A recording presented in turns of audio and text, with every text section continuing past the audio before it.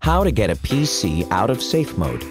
Safe mode allows Windows to load when there is a system critical problem that interferes with the operating system. Once you have corrected the problem, you need to get your machine back to normal mode. You will need a PC in safe mode, Windows XP, Vista, or 7 operating system, and computer navigation skills.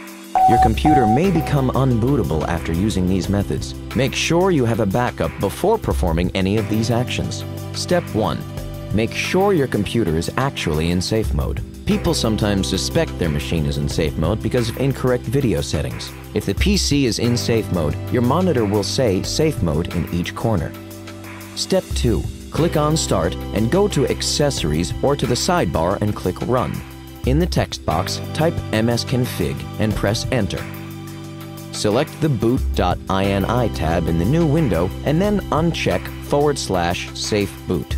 Reboot your computer and it should start in normal mode. Step 3. Click on the Start button and select Shutdown. When the menu prompts, select Shutdown. Step 4. Reboot your computer if it continues to start in safe mode. While it's rebooting and the Windows logo is displayed, press the F8 key to display the reboot options. Select the last known good configuration option. Windows will attempt to find and load the last successful settings. Step 5. Allow your computer to boot in safe mode if it still doesn't boot in normal mode. Click Start and select Control Panel. Select System and Security, and then click Restore your computer to an earlier time in the Action Center field. Step 6. Click on Performance and Maintenance. Then click on the System icon to open the System Properties window in XP or Vista, or click Open System Restore in Windows 7.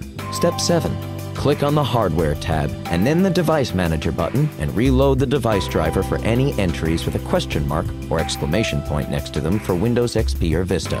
Select the point you want to restore to in Windows 7, click Next, and then Restore. Step 8. Click the Start button, select all programs, and then select the System Tools category if you're still booting in safe mode. Then select the System Information option. In the new window, click on the Tools menu and select System Configuration Utility. Windows comes with help functions and instructions that can guide you in these steps. If nothing works, call tech support. Step 9. Select the Normal Startup option under the General tab, click OK, and then restart your computer.